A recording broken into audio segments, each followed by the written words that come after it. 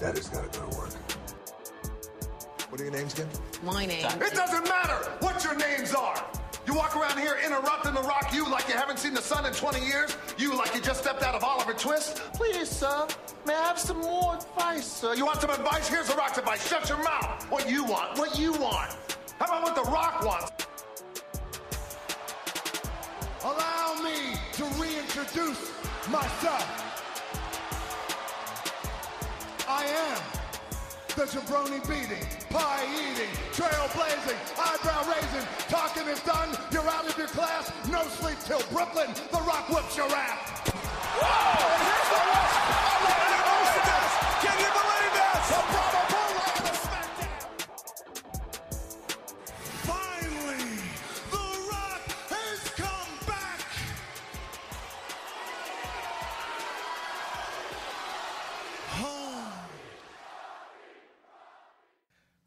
Going on, brothers and sisters? Coming to you from Theater D, Row J, Seat 7. I am the Godfather Nate Milton, and this is the Rocky Maivia Picture Show, your favorite pop culture and pro wrestling podcast dedicated to the genius of sports entertainer turned thespian, Dwayne The Rock Johnson. Now playing this month, a very special double feature. First up is 2010's The Other Guys. Special Forces zip line. These guys are pros. You thinking what I'm thinking, partner? Aim for the bushes.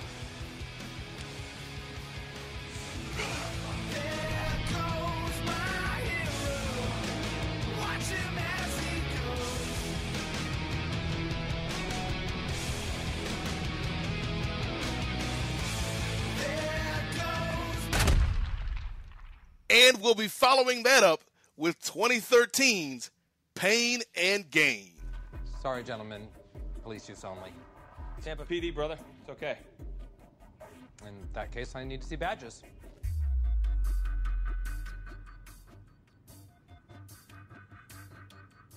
We're uh, retired off the uh, off the job, and now we're doing security for a uh, for a rock group called uh, Stryper. Okay. Never again will an oppressor overrun my people. But now I am keeping watch. That's the gospel.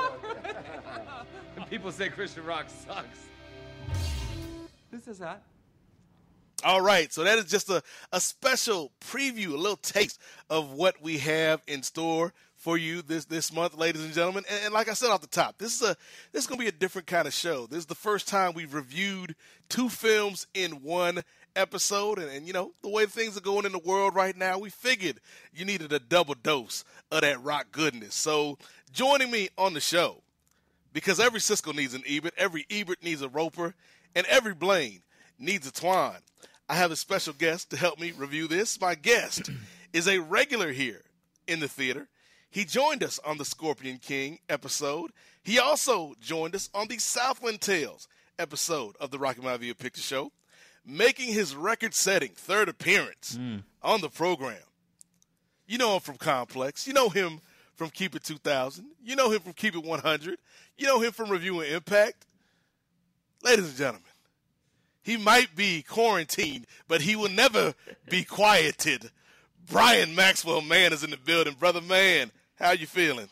Thank you for having me here. Thank you for once again allowing me to book myself onto the show. I've been calling my own shots. Um, I know you. you You're, you're the mentioned- wheel man, Brian, as, as a listener once said many years ago. You're the wheel man.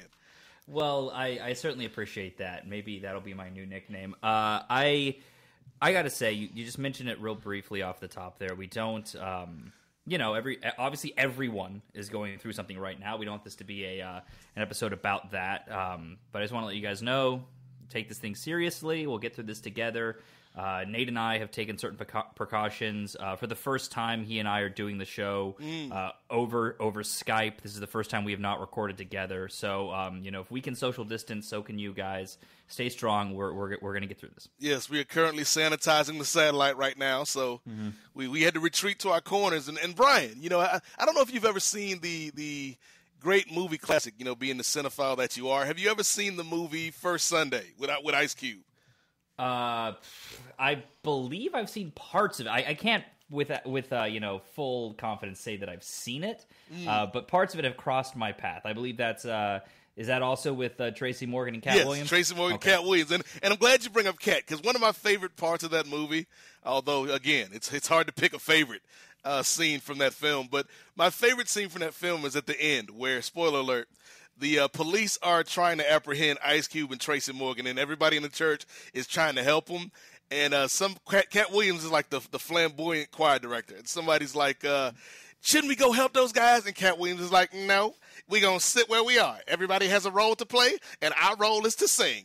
And then they just start singing to kind of distract the police, and, and that's what I feel like we're doing here, Brian. Man, like everybody has a role in the in these trying times, but but our role is to is to get on these microphones and, and give the people a little enjoyment in, in their day to day life. Well, listen, I can't I can't ignore such a great segue. You mentioned roles, and uh, we are knowing our role today Hmm. by discussing. I think, um, I, I think probably Dwayne Johnson, the two most important. Interesting. Uh, roles of his of his career, maybe. Um, And I mean, you, I, you- you're saying this knowing that uh, just last episode, in fact, on this program, we reviewed his first time as Luke Hobbs in the Fast and Furious universe in Fast Five. Well, Fast Fast Five is very important because that's kind of the first time that he is credited with making money for a movie. Um, and uh, you know, listen, it's it's your this is your you know uh, I'm just uh, I guess I'm just the passenger. I'm not the wheelman. You're the wheelman. Um, so just let me know uh, how, how you want to go about this because I know every time I come, I come with plenty of context. I come with a with a hot take. Uh, we talked about obviously his first starring role, very important. Yes. We then talk about Southland Tales, the best movie that he is in, and now we're gonna talk about two other movies that uh, you know I, I could probably argue uh, that Nice Guys is the most important movie um, in his filmography since uh, Scorpion King in terms of the importance it has to his career. Interesting. Positively, okay. positive, I would say. Because what we can do is we can skip all the preamble because people know your relationship to watching The Rock as a wrestler, your relationship with The Rock as an actor. We've we've already been up and down those roads, Brian Mann. So so we can before we get into the time warp and before we get into the individual reviews of these two movies, uh, I, I'd like you to elaborate on that point because I I think if you asked most people that have either been fans of The Rock or have recently kind of jumped on that bandwagon after Fast and Furious and, and, and Moana and, and Jumanji and films like that, and you're saying, you know, the other guys and Pain and Gain are two of his most important roles, uh, what, why would you uh, state that claim? So um, I think if you go up to uh, other guys, um, if you look at where his career was up until that point, um, quite frankly, he's lost. Uh, he's having a hard time transitioning. I, I, I don't probably don't have to say that to you. You watched all these movies. Uh, before we started recording, we were talking about Faster. Yep. And how I was a fan of Faster at the time. It's a movie he would not make today. It's a very small, low budgeted action movie. But look at where his career was. Uh, he had kind of uh, leap. He, he was kind of in um, later Schwarzenegger territory, but he had leapfrogged the successful Schwarzenegger years. He went straight to his kindergarten cop days. Uh, you know, he's doing the the the the game plan, and uh, he's doing uh, even Gridiron. But then, like, he does like a thing like Gridiron Gang, and that doesn't do very well. Yeah. Um, he does. Uh, um, he does Get Smart, but it's a very small role. And the thing you noticed around Get Smart was that movie was kind of important. It's the first time he doesn't call himself The Rock. He's strictly Dwayne Johnson in that movie.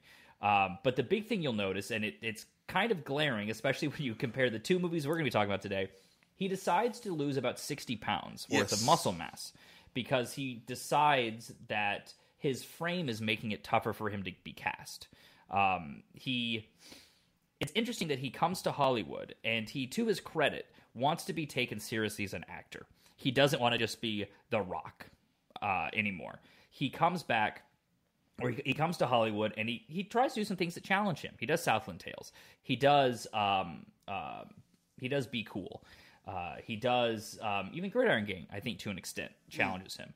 Uh, I think other Guys is the first movie to successfully use Dwayne Johnson in a movie, to successfully take advantage of what his on screen persona should be. And I think it's also telling that it's because he's working with a really fantastic director, probably the best director he'd worked with up until that point in his career, who knew exactly how to use them. Because even if you look at some of his, like, Be Cool or other movies where he attempted to do comedies, he wasn't necessarily giving those roles in very good films.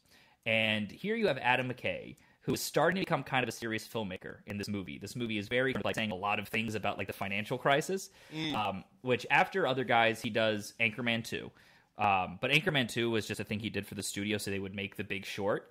Uh, Other Guys is kind of his last time making a straight up comedy because I, I don't even count Anchorman 2. Like, it was a job he did to, like, it was just part of a bigger process to get to doing the, the big short. And then he does Vice, and he's an Oscar winner now, and he's, you know, in a very different category. Um, and if you even look at the way Other Guys is shot, like, it's, he's starting to move away from his, his previous style. Um, I think it's also interesting that both these films we're going to talk about also involve Mark Wahlberg, who I think is also used perfectly in both films. But you watch this movie, And, and, and Wahlberg, another guy, not to cut you off, Brian, but he's another Mm-hmm. guy who kind of had to take that journey to figure out who he was following the the Marky Mark and the Funky Bunch days. Exactly, and I, I think that's very interesting is that I, I've looked. I, I honestly tried to look this up. I can't find any evidence anywhere that Mark Wahlberg has ever given Dwayne Johnson uh, advice, but I think he probably has. I, I think it is without a doubt they've sat and had long conversations about you know career and working. I mean, they've done multiple films together. Uh, and if you look at it, I think their careers do parallel each other pretty similarly. Um, I think that they also both benefit from being in the same kind of roles. I think when when uh, Mark Wahlberg plays a character who's supposed to be high status, who's supposed to be a character who kind of has it all together, he tends to be pretty bad. Uh, films like All the Money in the World, but when he's playing a low status person, uh, you know, when he's playing the uh, like we see in both of these films, where he kind of is the guy with the chip on his shoulder, we Yeah. has something to prove, where people kind of uh, doubt Four him. Brothers is, a, is another good example. Exactly. He's great in those roles. And Dwayne Johnson's kind of the same. Like Dwayne Johnson, when you give him something like a like a San Andreas or a Rampage, he's pretty bland and boring. But when you give him a Jumanji, uh, when you when you give him uh, you know kind of some of the, the comedy he gets to play with the Hobbs character, uh, he's a lot more interesting. And I think they overlap. Plus, um, you can't overlook the fact that I would not be surprised if Mark Wahlberg had given Dwayne Johnson the advice of, "Hey, go and get a show on HBO as well." Uh, you know, obviously Mark Wahlberg had Entourage, and uh, Yeah. then Dwayne Johnson goes and pretty much makes football Entourage. um, but but back to the the uh, at hand, the other guys, I think he is so perfectly used. This is the first film that, and I don't know if you feel the same way even though he had been calling himself The Rock in many films, this is the first performance of his where you watch it and go like, "Oh, that's The Rock. He's playing The Rock. He's doing the thing that he's great at. He's doing and not only is he doing the thing he's great at, he's doing the thing that most people know him as. He's playing into his star persona rather than going to Hollywood and saying, "Okay, I want to be taken seriously. I have to prove myself as an actor." Um, if anything, it was almost that he had to go away for a while, maybe, and then come back and be like, "No, this is me. This is what I'm really great at." And he just gets to play this this amazing uh, him and Sam Jackson together, this amazing parody uh, of, of of a buddy action duo, and I think the two of them have such great chemistry. They're really only in two three scenes, Yeah. Um, but they just they jump out, and to me, so you know, obviously this movie comes out um, the year before uh, Fast Five, and I would not be surprised if this film actually played a role in him getting cast in Fast Five, because even though um, uh, Hollywood's a small town. You know, it's one of those things. He gets cast in this. Ward gets around. Yo, have you seen? He's really great in this movie. Like he's doing this thing that I don't think Hollywood had seen. I don't think a lot of these big, you know, maybe these casting agents weren't fans of him in wrestling, so they didn't realize he had this charisma. He's just the guy who's been doing family films lately that do so so. Um, so I think other guys is the first time that Hollywood really catches on to what this guy can be. And I think it took Adam McKay really knowing how perfectly to use him to bring that out. So, so what I hear you saying is Adam McKay is the the best director for Dwayne Johnson since the great Jorge Blanco with with, with Planet Fifty One. Well, I think uh, you bring that up. I think a very interesting thing that I think is something else Mark Wahlberg probably tells him is he goes, pick one or two directors that are your gu- guys and only work with them. Mark Wahlberg makes not every movie, but the majority of his movies are directed by Paul uh, by Peter Berg. Yep. And if you look at Dwayne Johnson, he's got his uh, his guys uh, as well. Uh, I would argue they weren't they aren't as good filmmakers as Peter Berg, who I also don't think is a very good filmmaker. um, Peter Berg is like he, he's he's a specialist. Like he's got one thing that I think he does well, like that gritty is not use a underdog story. but like he he knows how to tell that one story, and I don't know if he knows how to tell any any other story but that story. And I'll even with Mark Wahlberg, like I appreciate that like some of his movies you can at least respect him on some dramatic level. Like, well, but I won't get into like talk about like Deepwater Horizon, right? Like it's kind of a disaster movie based on a true story. It actually has like some drama to it and challenges him as a, as an actor a little bit. Dwayne Johnson's not doing those. He's doing fucking San Andreas. He's like, I would like for him to just do one movie that had a little bit of a dramatic edge to it. But that's a whole other thing. We don't need to get into what we want Dwayne to be doing. and and I think we talked with Brian, the last, the last thing that I would kind of say about this is it's funny that in a in a movie like Be Cool that that you brought up earlier, mm-hmm. Or in a movie like this, you know, the other guys where he doesn't have the biggest role, it seems that they're able to tap into maybe that charm that is missing from the Scorpion King, where he's front and center, but we don't really get that Dwayne Johnson charm. Or a movie like uh, uh, The Tooth Fairy, which, like, The Tooth Fairy, it should be like funny Dwayne Johnson, but it never, like, I never get the feeling that I'm, I'm supposed to like The Rock's character. His charm just doesn't come through. But, you know, maybe that's less to his that uh, uh, fault or, or blame, mm-hmm. and more so the the story and also the direction surrounding him. Yeah, it's kind of interesting that you look back to, um, say, the rundown, for example. And in the rundown, you have that that cameo from Arnold uh, in the very beginning, and it was Arnold's way of passing the torch. Mm. Uh, Arnold was leaving to become uh, governor, and I I know the two of them had, have had talks, and I'm pretty sure Arnold has talked about this. He saw The Rock as the next Arnold, and he eventually got there. It's just very interesting that like that was the lane he was supposed to take, and maybe, maybe it's just that Hollywood didn't take him very seriously in the beginning. Maybe he just chose bad projects because, again, Doom. You know, like, and I don't know if like maybe I don't know if the Rundown scared him off because the Rundown's a pretty good movie. It's directed by Peter Berg, interestingly enough. Um, but then I don't know. He just he picks really bad projects for yeah. for about a decade there, and it isn't until he kind of and you also see during this time, I don't know if you talked about his cameos, but he does start to take cameos in movies. Uh, he like has a bit part in like that Miley si- in, in, in, an episode of Hannah Montana. Yep. He's in a, a, Reno a, a Tyler Perry movie very briefly, Reno 911. And this other guy just happens to be um, the cameo that really clicks and mm. really works. Um, and, and, and I do think this is the first time that a major Hollywood film uses Dwayne Johnson properly. Sorry, and so, it doesn't overexpose him either. Yeah, I, I, yeah, you know they they they know uh, they know how to hide him in a tag team match, and they give him a great tag team mm-hmm. partner in, in, Samuel L. Jackson. Oh, uh, they're they're fantastic together. They really are. I would love it if they could find another project to work on together. Maybe we get an other guys prequel where it's just about rocking just those guys, rocking Samuel L. Jackson. you call it the guys. The guys, yes. Oh, Adam McKay's, where's the check? Uh, but yeah, let, let's talk about the other guys. And to do that, Brian, mm-hmm. man, we must, of course, step back into time for the time warp. Oh man, I did I totally blow past? I gave you all my thoughts on it while we blew past the uh, the initial intro. yeah, because yeah, because as soon as we go through the time warp, we're like, all right, so so uh, what'd you rate the movie? And we're done. uh, well, listen, this is the cold open. It's it's like this is the fast cruiserweight match to get the audience, uh, yeah. you know, hyped up. I mean, this is like the uh, the the, the Simpsons short before Onward. We don't. Yeah, we don't need. Uh, this is just. We don't need psychology. We went straight to the film. All right, so Brian, the other guys premiered on August fifth, twenty ten. Do you know what the number one song on the Billboard Top 40 chart was? Um, 2010 August. I'm gonna guess. I doesn't it, but why not? But is it the Pitbull? Is it the song Pitbull wrote for Men in Black Three? Oh, I forgot all, all, about that song. No, it, it was not Mr. Worldwide with uh, was it uh, was it uh, Baby? Like he did the remake of Baby. Yeah, I just love that, that Will Smith was like, guys, we got to keep doing, we got to keep doing the rap track. People love him in these movies. Oh, cool, what you got for us? No, no not me. You're like Men in Black, Dolly. Like, no, no, sir, we we will not dolly. Uh, no, it is not Pitbull, Brian. Man, it is uh, from the album Recovery. Mm. Eminem featuring Rihanna. Love the way you lie.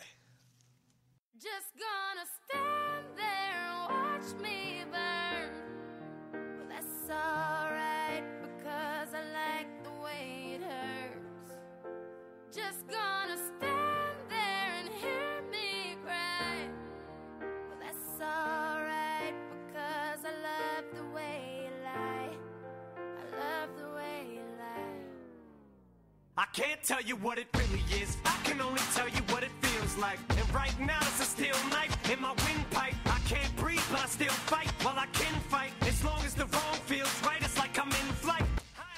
That had to have been him at like his most pop success lately. Would you say? Like, I don't know. Eminem, Eminem, like he just hasn't been that interesting to me in the last couple years. I would say, yeah, like this was kind of like the last legs of Eminem being an A-list, like celebrity kind of rapper. Yeah, he's just the the thing that's so interesting with him versus, and I don't know, this happens to a lot of. Um, I feel like every artist in the later part of their careers, if they lose it, they lose it one to two ways. Uh, they either lose their skills, or uh, they get sober and stop being interesting. Um, and I, I don't, I don't want to knock sobriety. So it's either they lose their skills or they stop being interesting. And sometimes that's just like, you know, artists, you know, get wealthy and they stop having hardships and they just don't have anything interesting to say anymore, or they get older and they can't, you know, play the way they used to, or their voice sounds different. Eminem is still incredibly talented. Like when he does like a song, you're like, oh, he's saying absolutely nothing, but he sure does talk fast. Yeah, like he's he's still got uh, because I've listened to some modern day Eminem, and he's still got like the the clever word. I, I wouldn't say clever wordplay. That's that's overstating it, but he still he still knows how to put words in in a structure. Right? He still got the Right. basic foundation of what made him great back in the day. It's just the structure's there, but the substance isn't. Mm-hmm. And so it's like, yeah, he's got these clever little turns of phrases, but they don't quite connect. yeah, it's um I mean that's why for me like the the Eminem song I probably love the most over the last 10 years is the song he did for Venom just cuz it's so ridiculous. The the, the knock knock. Uh yeah, let the devil in. And Yeah. he, like I love the like I love it just it's also a throwback to like when like movies plots would be rapped about. Yes. I just I don't know. I miss I miss that era. You'd think Will Smith would bring it back. So Will Brian, Smith should be the Brian guy. Mann's favorite song of all time is the uh, Masters and uh, Partners in Kryme, the uh, Teenage Mutant Ninja Turtles rap from the very first Turtles movie. Uh it's up there. It's got to be up there. It's like, we're gonna spend three and a half minutes rapping about the movie that you just watched. They, just- I don't know, and and the great thing was because that was also a time period where like obviously the entertainment business was structured completely differently. Where like they could also force that song to be number one Yes, as yeah. well. It isn't just like now and day like Men in Black or Wild Wild West would just like play over the end credits and you'd leave the theater and not think about it. Uh, and it'd be put on like iTunes and you'd never download it. But back then with radio and everything, like you could force it to just like, yep, number one. Look at this, Will Smith got the number one song in America and the number one movie. Isn't that crazy? we all love Wild Wild West. I like the song better than the movie. I'll tell you that. Uh, yes, that one has stood the test of time. I mean, it's you know Sisqo. You got uh, Kool Moe Dee, Stevie Wonder beat. It- So I, it- we, it we all remember the VMA performance. Yes, as as yeah, as opposed to who was that? Kevin Kline was like the the sidekick in that movie. Uh, yes, but ke- even better, uh, Kenneth Branagh as the uh, as the villain. Yes, with the with the spider legs or whatever. Mm-hmm. Yeah, I left two, I, I, I left uh, my small intestine for the South. uh, yeah. So uh, yeah, Will Smith was not the number one song. It was Eminem with Rihanna, which I guess that that you got Eminem kind of on the downslope or beginning the downslope, and Rihanna on the ascent. So it kind of works. I think she's probably past that. Like she's she's I, I would argue way past his level, but he's he's just Mm. an artist who is so big that I think there is a level of people wanting to do a song with him because Right. there's some credibility. If you're Rihanna, you grew up listening to his music. Um, I think there's a level of that, and then I think there's also a level of um, um, you know, he's still a major artist that the studio is going to spend a lot of money to make sure that he has hits. So it's like that time where Edge tag team with Hulk Hogan. Um, I don't know if I would say that because X. I mean, it is similar. It is certainly similar. I'm trying to think of a slightly less prestigious one. Um, I thought you were gonna say slightly less racist one. hey, I mean, they has Eminem ever said the N word in a song? I don't think so. Okay, which surprises me. Which is like that. That should be. And here we're, we're going on tangents here, but but that's what we do. Like forever, all of my, my my Caucasian brothers and sisters who get mad, they're like, we can't say the word and the word. Like if Eminem of all people, who would have the the quote unquote mythological past to say that. Yeah. If he's never said it, then then no, you Timmy that works at uh that works at Publix, you can't say it either, sir. I do you think we're?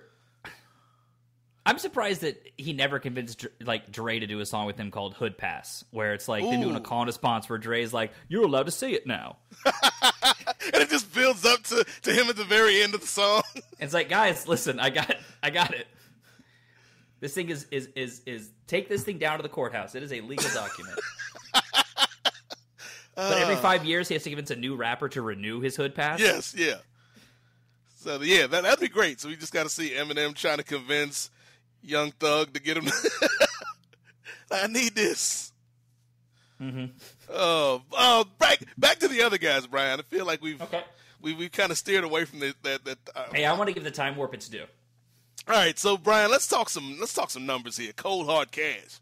Yes. The other guys, as you mentioned, directed by uh, Adam McKay, had a budget of around ninety-five million dollars. What do you think was the worldwide box office for this film? Uh, I gotta admit, I think I did look. It's around like 160. Uh, one seventy-one. 171. Yeah, this was this was at a time where um, it's so wild. This one, I think of the Adam Sandler, uh, not the Adam, Sandler, of the Will Ferrell, Adam McKay movies. I think this one performed uh, the lowest. I think people were just kind of over the pairing at that point. And um, you know, if you'll notice when Adam McKay and Will Ferrell stopped working together, Will Ferrell hasn't really. I I don't think he's really had a film that's hit. Uh, you know the way that any of his Adam his Adam McKay pairings have. They've those two really are uh, fantastic together. Um, but I think it was just people were kind of over it. Unfortunately, if you go back and you watch it, I think it's dead and Talladega Nights. You know, I don't think it's, I think it's forgotten one. People think about their movies together, they think about uh, Anchorman, they think about uh, Step Brothers, Yeah. uh, and then maybe they think about Talladega Nights. And I don't think they ever think about other guys. Um, It's it's it's kind of fitting. Like it's the deserves- it's the other guys, but it's it's kind of like the other film in in the oeuvre of Right. of Farrell and McKay. because I, I think we rightly have been just you know concentrating on the first 15 minutes uh, you know spoiler if you haven't seen it dwayne johnson and samuel jackson die uh, in the first 15 minutes very one of the greatest uh, celebrity one of the greatest deaths in a, in a film Yeah. um, followed by because you've, you've seen the whole movie before right Yeah. And isn't uh it isn't there death where the spoiler alert like they they choose to jump off a building thinking they can land in Yeah. the bushes and roll. Isn't it scored to uh There Goes My Hero? my hero by Foo Fighters. Yes, they like which- which they're chasing amazing. these these guys. they look at each other. They just like the biggest grins. Hey man, aim for the bushes. Aim for the bushes. They fist bump. They jump out, and there's this great shot following behind, and they just land right on the sidewalk. uh, and then the next scene is like uh, an Ice T narrates the film. And he's like, no one knows why they did it. They're like, and then when they're like all at his funeral, their funerals afterwards, all the guys are talking. It's like, yeah, they're like, wasn't even an awning or anything. There was like, there was nothing that could have stopped their fall. They're just like so full of themselves that they thought like, yeah, you just jump off a building, why not?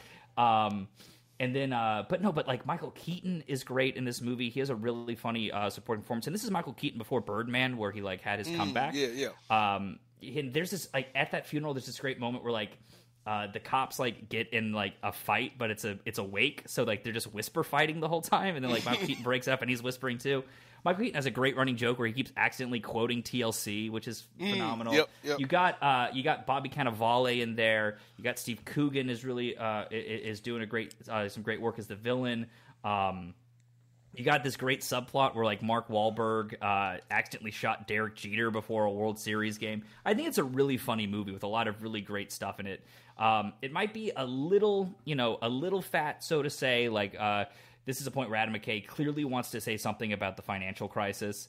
Uh, you know, he's becoming a very heady filmmaker at this point. He, there's something he always wants to say. If you watch Anchorman after this, it's clearly trying to say a lot of things about you know cable news. Um, and then he goes on to do Big Short, where he's able to just kind of like make movies about the issues he actually wants to talk about. Um, but yeah, I think the final thing, I mean, and again, it's crazy that I don't think this movie gets talked about enough. I, I think when people talk about Dwayne Johnson's career, they kind of skip over this and go to Fast Five as the thing that turns things around. But I don't think Fast Five happens if it isn't for this movie. Um, for, first of all, Brian, man, you're not gonna come up on my podcast and, and subtweet me in front of my face. Brian Mann, because I'm sorry, I didn't realize that was your opinion. I didn't realize that was. The listeners know, like, like uh, originally this this month's episode was supposed to be uh, Journey to the Mysterious Island because that's Oh. the movie that follows Fast Five, and and some of the listeners. Uh, Sorry, listeners, you'll have to wait. yeah, some of the listeners brought up, uh, "Are you going to do the other guys?" And I, I'd always planned to do like a, like a, a catch-all show with with his cameos and, and maybe his SNL uh, appearances where he where he hosted, uh, and make that one separate episode. But the the response from from the postmarks out there uh, about the other guys was was so uh, fervent that I figured uh, I, I needed to do it. And then Brian Mann. You know, came in with the cherry on top and said, "Let's Well- make this a, a Wahlberg rock sandwich and, and do this and Pain and Gain." Well, because I would argue this is not a cameo. Hmm. In my defense, uh, I mean he's in the opening credits. He was in the advertising for the film. Um, it's a supporting performance. It isn't. Um, it, it isn't like when he shows up in Why Did I Get Married Too. Uh, it, it's not Reno 911. It's not a ooh I didn't know this guy was showing up. Isn't it funny he's here? Spoiler He alert: Why did I get married Too? Getting its own episode. But you mentioned SNL, and I think that's very interesting um, because uh, The Rock. I don't know if people knew this. Uh, he was the first athlete to be invited back to host SNL uh, when he when he hosted twice as The Rock. Um, I, I think Charles Barkley was the next one after that. But you know, a lot of times athletes get invited to. Yeah, that's right. Because yeah, don't get brought Barkley's done it. Barkley's done it twice too, but his was so far apart. But like I, I think like Jordan hosted and like they didn't bring him like they rarely bring the athletes back because Yeah. they're rarely good. But they brought him back, and if you want to count him as an athlete, whatever. Um, Did Triple H host one night? No, Triple H had a cameo in the Rock's episode. That's right. Yeah, the Big Show promoting the Rock. Yeah, 20. yeah, yep, Uh, WrestleMania 2000, I should say. yep. So that was a very interesting um, sort of thing when you look at The Rock's uh, uh, career when it comes to SNL. Because if I'm not mistaken, he was actually supposed to host SNL the week. Uh, if I'm, I could be totally off here. I think he was supposed to host SNL the week that Southland Tales was coming out, and then the writer strike happened. Okay. And that's that, that's another thing that like people have counted as a possible reason why Southland Tales didn't do very well is because the writer strike happened and all the late night shows were canceled, and so there's no press for the movie. Right. Um, but yeah, that's all. We don't need to relitigate that film. Um, but if you look at it, The Rock, I don't think actually gets invited back to host SNL again until after Fast Five. He does do cameos. If people remember, he would do like uh, The Rock Obama. Yep. So like he was clearly big enough for that bit, but he was not big enough. Like he was big enough to cameo on SNL, not big enough to host.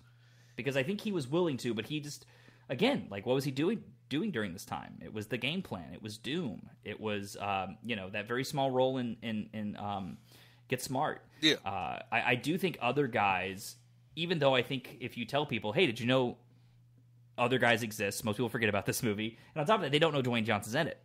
Um, but I do think that this is the first time in a film when you actually see Dwayne Johnson's star persona figured out in a movie. Because if you compare his performance to, in this to what he's doing now with like Jumanji, it's very much a, a piece. Yeah. But if you compare it to like Be Cool, it's like no, that's a completely different guy. Yeah, and I, I would also, you know, kind of tying s- SNL into this. I think we've we've kind of stumbled onto something here, Brian, because I think you're you're turning me around on, on the other guys and its uh and its relevance to Rock's career, particularly the the journey from there to here. Uh, but also, I think SNL also kind of opened people's eyes Mm-hmm. that this is more than just some handsome, muscle bound dude who can do action. Like he's somebody that that has range and has charm and charisma, and and it really hadn't been taken advantage of in the movies up to that point. Yeah, and that's why I do get so disappointed when he does a film like, you know, when he does a film like a San Andreas mm. or like Rampage. I'm just gonna keep going, with- or or Hercules, for mm. example, because I do think that like he has a little bit more to offer than that. Yeah. I think that like you look at a Jumanji or a Central Intelligence, like something that actually allows him to be kind of funny. Yeah, Central Intelligence uh, is very. Un- well, I mean, obviously, we'll get to that. You'll in, get to it, yeah. in, in months, but it's. I think Central Intelligence and the, the kind of buddy, buddy uh, repertoire he's he's built up with Kevin Hart has been a, a big help to like later career Rock. or like skyscraper you know like those kind of movies that just don't let him be funny that don't let him fully you know for lack of a better term flex those muscles and show what he's really great at and again, I don't think- understand like why. Obviously, Brian, I'm not in the position of, of a Hollywood bigwig. But why why would I hire Dwayne Johnson and not let him be Dwayne Johnson? Like if if if you just want him to be like silent muscle guy, like there's a million other dudes you could hire that that are cheaper than The Rock. Like if I'm if I'm paying for The Rock, give me The Rock. Not to not to lambast Mr. Maivia here. Um, tre- tread lightly here. The Rock is not going on LinkedIn.com and applying for the position of lead role in Skyscraper. the movies he's making are the movies he wants to make. He just like he just should not say I'm going to do he just shouldn't do movies where he's not funny. Like that's his biggest strength. And You got kids to feed, Brian, man, in this tough economic climate that we live in. Well, he well when he sells his his tequila for a billion dollars, I'm not going to feel bad for the guy. Okay, the guy's doing just fine. It's just I just I just don't. I, I think that he's a guy who needs to you know. I think because he is so big, he tries to find movies that are these big things with global appeal. And I think the reason why he mm. doesn't do so many things that are exclusively comedy is because comedies do not perform well overseas. Mm. So I think, yeah, like. Do you, do you also think Brian like because here's something I've wondered like he makes a ton of movies. Do you think maybe part of that work ethic is a detriment in a way where it's like sometimes like just take a break, dude, and and wait for the right project or pitch the right project. Like you Mm-hmm. don't you don't have to be working in a movie that comes like every month. We shouldn't be seeing a, a, a, an ad or a commercial for the, for a new rock movie. Well, I, I think one of the things with Dwayne is that he, and it's very crazy if you see that, like, he, you can still argue that he is the biggest movie star in the world, but it's mm-hmm. when it came. It came when he was 40, and it came after a decade of kind of failure in Hollywood. And so I think that for him, his is I'm going to make as much money as I can. I'm going to hold on to this for as long as I can and I'm not going to risk losing it. And the idea being that one day um, I will slow down, but right now that is not the time. I think it's the same thing as Robert Downey Jr. and what he has. Where with Robert Downey Jr., it's like, why would I make a small independent movie that might be really great when I, out of nowhere, you know, after becoming sober, in my mid 40s, have Yeah. become one of the highest grossing actors in the world. And I think for him, that's why he wraps up Iron Man and he doesn't say, okay, it's time for me to do that small movie that's going to win me an Oscar. He, instead he instead says, hey, it's time for me to go do Doolittle. Uh, I think it's the same thing with The Rock, where it's like, okay, I did Hobbs and Shaw. Uh, what do I do now? Well, I'm going to go do. I'm going to do another Jumanji. Um, I think all of his movies, he wants them to be massive because I don't think he wants to step back um, and do a. He just doesn't take risks. He just does not take risks anymore. That's kind of what it comes down to. Honestly, though, Brian, man, when you put it that way, But that is a good segue into the next film we discuss. Yes, well, I was gonna say before we before we make that segue, when you put it that way, as someone who has now crossed that threshold of being forty, if let's say in the next year, ESPN hires me, I will be the most, I, I will put out the most ESPN corporately mandated schlock. Like Exactly. like you- like and uh, like what happened to Nate? Like he used to be so creative and funny. Now all he does are these stupid ESPN pieces. I will do. Look, I'm, I'm I'm trying to get that check, Brian. Man. Yeah. Like no, I, I suddenly out of nowhere, like you're the guy who's always wearing a you know a, a bright yellow suit and a pink tie Yes. on, on like on, on the sidelines every single in, every single game, and you're like, oh man, and it's like I will let my hairline recede and turn into the second coming of Stephen A. Smith. even though in the back of your head you're like, damn, I really wish they'd let me do something on cricket. You're not going to take the risk. You're not going to take the risk. Cricket I know where the money's coming from. I'm going to keep getting it. and I think that's the thing. I think that's the thing with The Rock. I think another thing, and this is actually, um, I kind of feel, I don't know if you talked about this in the past episode, but there is another major thing between other guys um, and uh, in a game. And it happens um, with uh, uh, with Fast Five. I don't know if you talked about this, but do you remember his WWE return? Yeah. So his WWE return happens in 2011 uh, at WrestleMania. It is done to promote Fast Five. Uh, he comes back to host that year's WrestleMania. Uh, I don't know how many people remember this.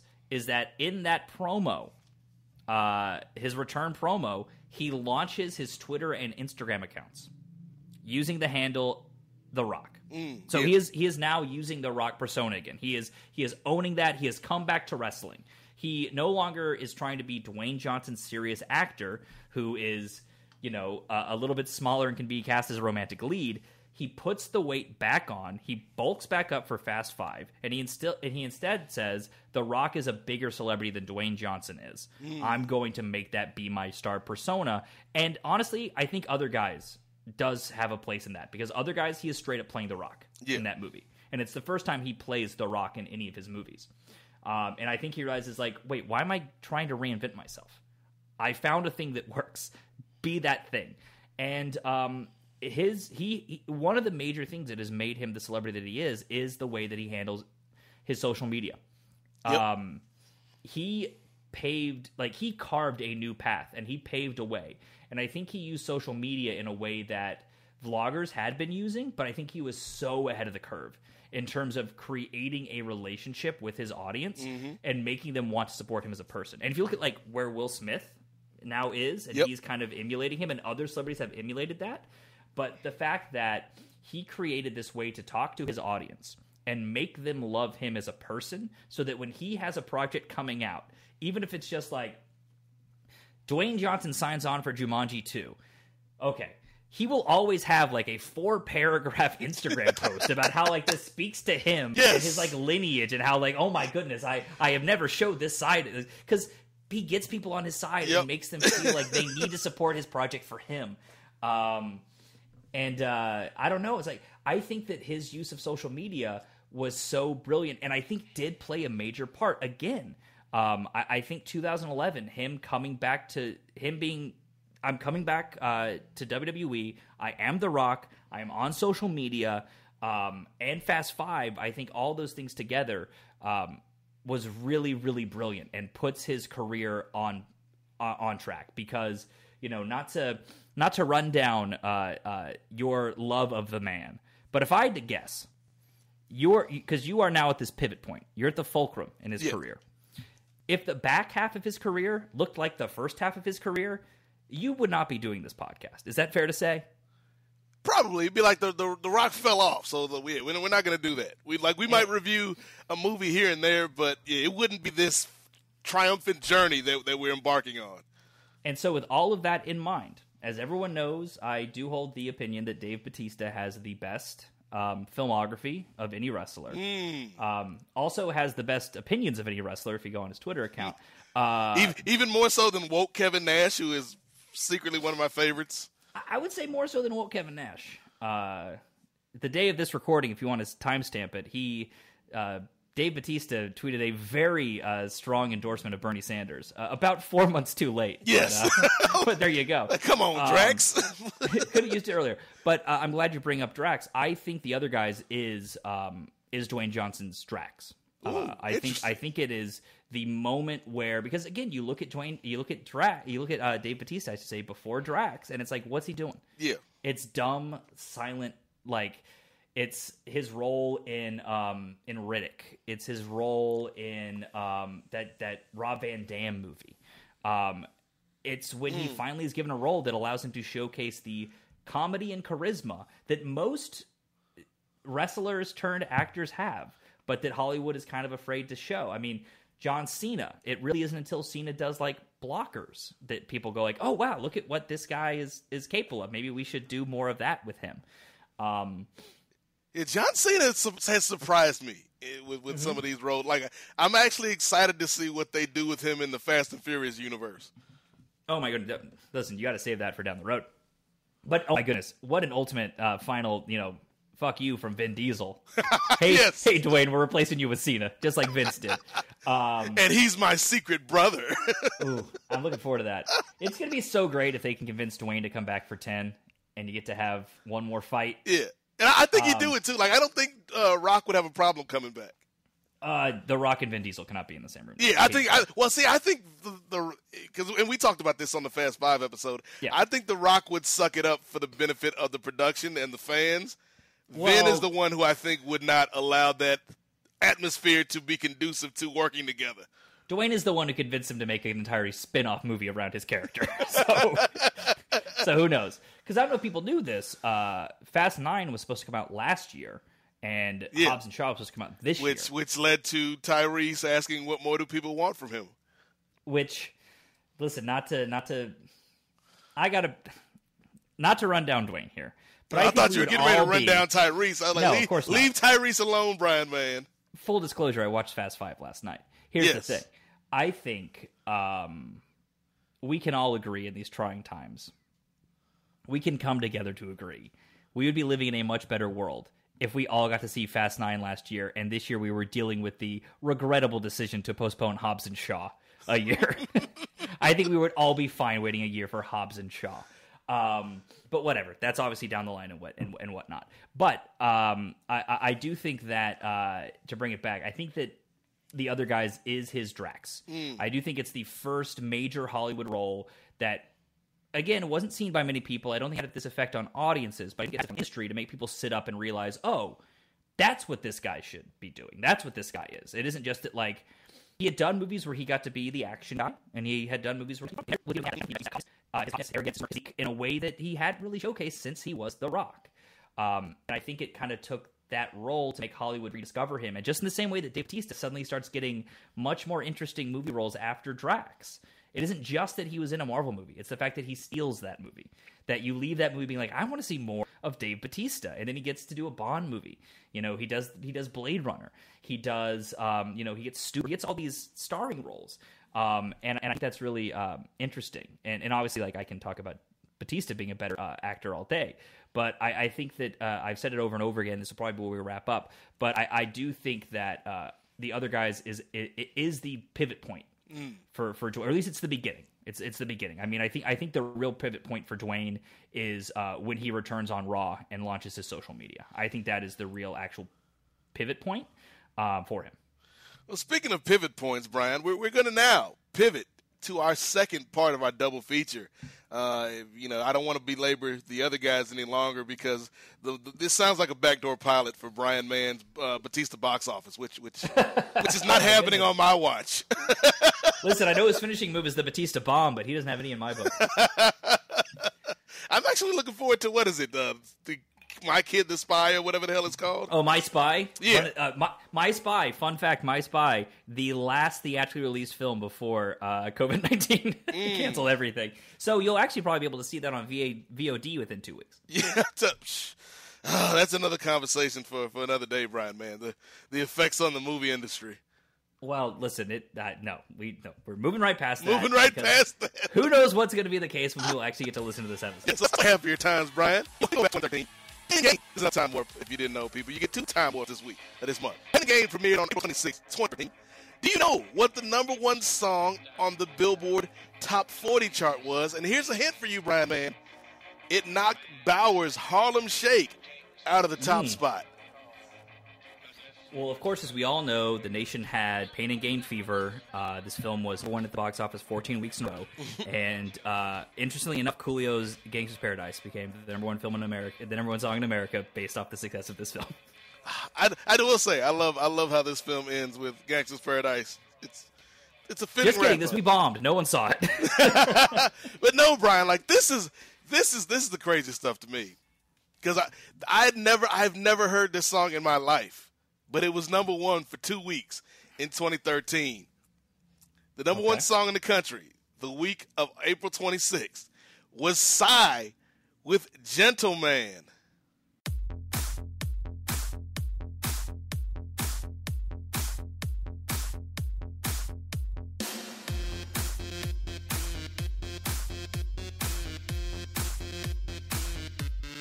알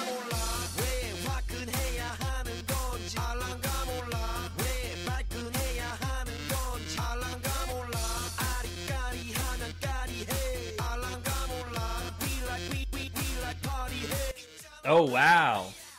Psy, of course, of, of Gangnam Style fame.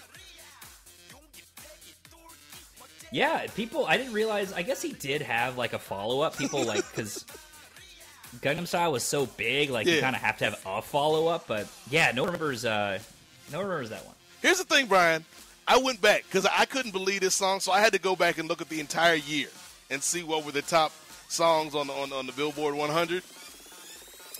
In 2013, Psy was joined on the top of the charts by such luminaries as the aforementioned Baauer with the Harlem Shake, Macklemore with Thrift Shop, Oh God. Psy, Psy again with Gangnam Style uh, making a comeback to the top of the charts. Ylvis with What Does the Fox Say? And two Miley Cyrus songs. Brian, man, what the hell are we doing in 2013? Uh, listen, if if if I don't know. Obviously, like we, we had our issues, but if we could go back to it, Were, were we, was, every, I mean, was everybody just so happy that Obama Obama got elected again that we just l- would let anything be a hit? I mean, We singing about foxes and listen. I, I think the real thing is, you know, appreciate what you have while you have it. You know,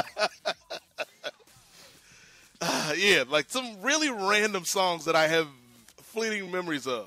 Yeah. Like think about now. Everyone was like, "Oh my God, Brett Kavanaugh, can it get any worse?" And it's like, "Oh yeah, in two in two in two years, you can't leave your fucking house. I mean, it gets that's- worse. Trust me."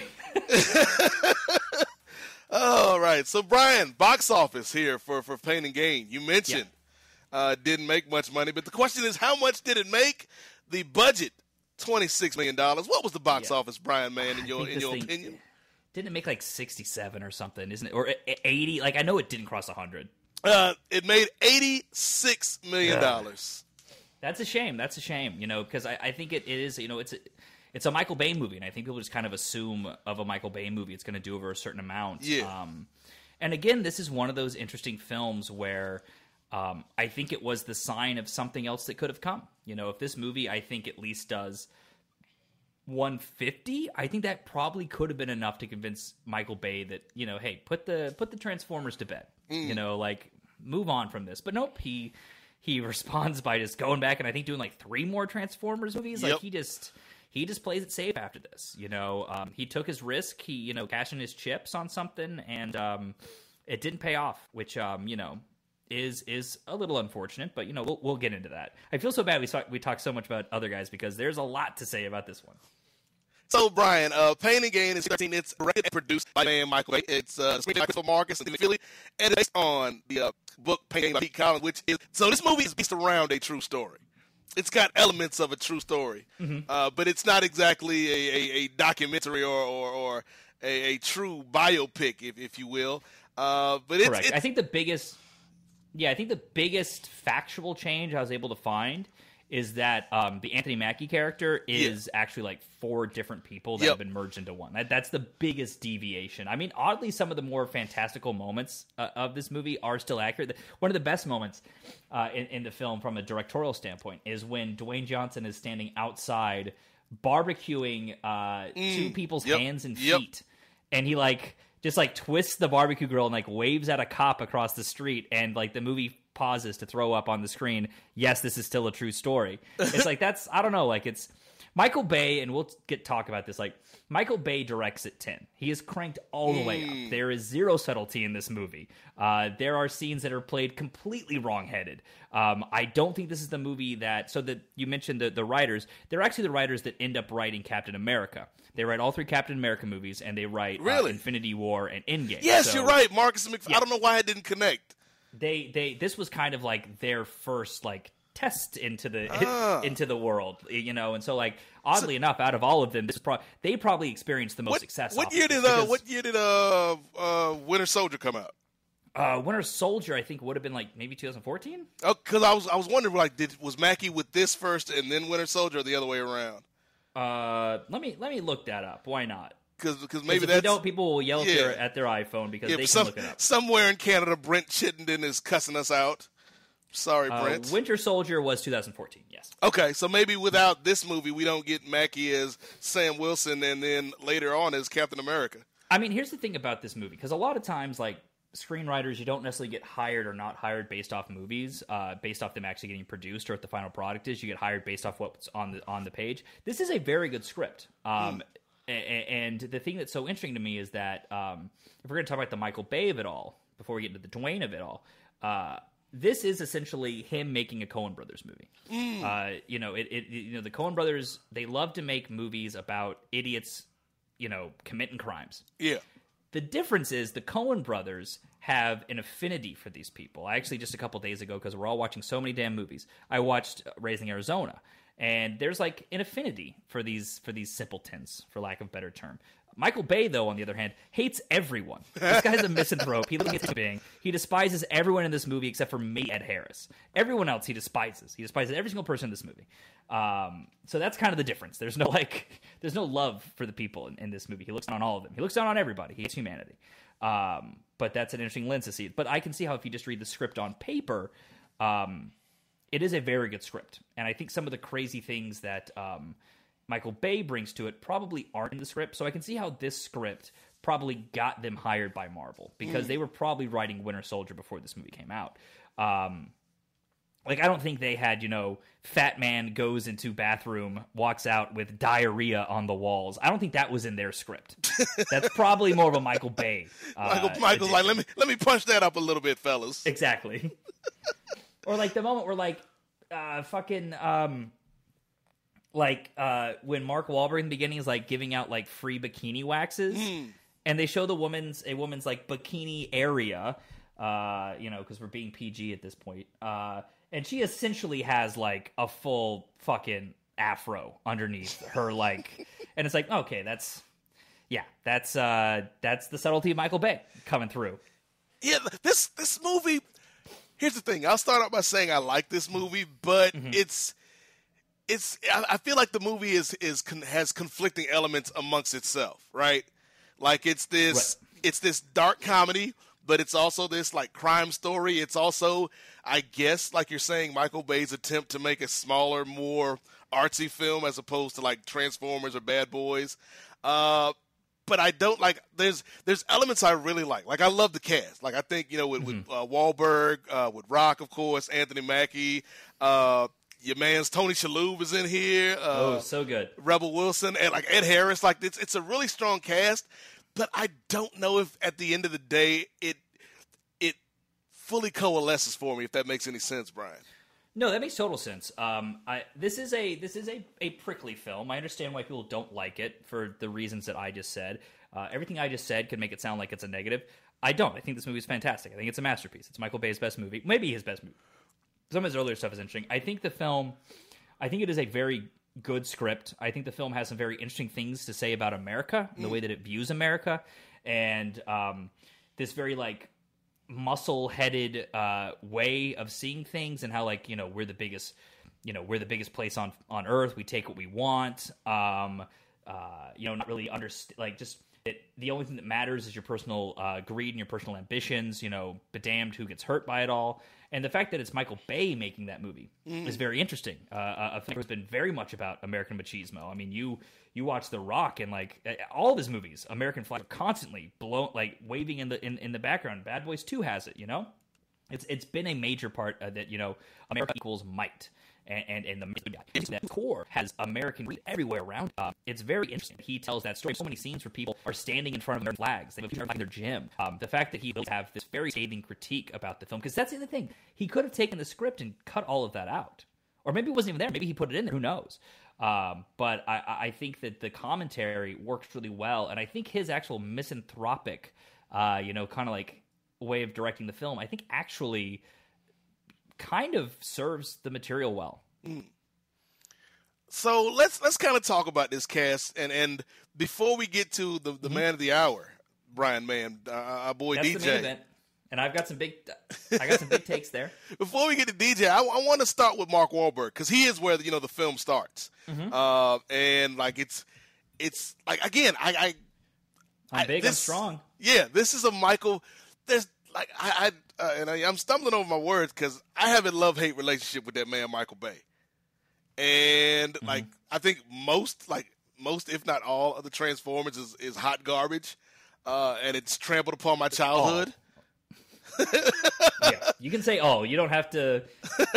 I'm not going to speak up for any of them. it's it's trampled upon my childhood. But I do like uh, the Bad Boys series, and maybe that's more due in part to the leads than maybe Mm-hmm. this, the film itself. And I think maybe that's how I feel about Pain and Gain because I really like Mark Wahlberg in this role. I think him and Rock and Anthony Mackie have a good little uh, back and forth. Uh, what what do you think Mark Wahlberg brings to this picture? And, and you know, we talked earlier about kind of the similarities be- between him and The Rock and their journeys through Hollywood. Uh, at this point in the game, like, like, what do you feel about Mark Wahlberg, Wahlberg as an actor? Oh, I, I mean, I think he is great at these kind of roles. He's great when he's playing low class. He isn't very good when you make him the kind of infallible hero. He needs to have something to prove. He needs to be uh, beaten down a little bit. I mean, that's what you get in Boogie Nights. That's Yeah. what you kind of get in um, even like Departed, where he isn't, you know, he still is like having to prove something. Um, of course, a part of being what he gets nominated for an Oscar for. It kind of works in The Fighter, even though he's a little bland. The other actors in the film kind of get to be the interesting ones. But I think this film uses him perfectly, and other guys. I would argue those are maybe his two best, two, two of his better p- comedic performances. I still think I Heart Huckabees is probably his best performance, but I think he is so well cast here and so well utilized. Um, you know, he's just he's great, and he's he's he, he clearly has you know I, I think he's a, he's an actor who it's it's sometimes you can watch a Mark Wahlberg performance and tell that he doesn't like the character he's playing. Um, not because they're a bad person, because he thinks they're a nerd. Like if you watch the the happening, he clearly thinks the character he's playing is a nerd. like he wants to beat up the character he's playing. But you watch him in this movie, and I think he brings a lot of heart and sympathy um, and comedy. And I think it's very difficult. I think it's very, very difficult to make this character. I don't. I wouldn't say likable, um, but to make him appear um, threatening while never um, being difficult to watch and never really turning you off. Um, he's just this. He's this ambitious guy who just his his really his reach exceeds his grasp. That's really what it comes down to. That's you know him in a he, nutshell. he kind of reminds me of, and and uh, you know him, uh, Mark Wahlberg as uh, Daniel, uh, Anthony Mackie as Adrian, and then uh, Rock as uh, Paul. Like none of these guys are like you said. They're not, despite the actors being charming. The, these characters, these men, aren't. Mm-hmm. Likable, like you wouldn't. wa- If you met these guys in real life, you wouldn't want to spend more than five minutes around them.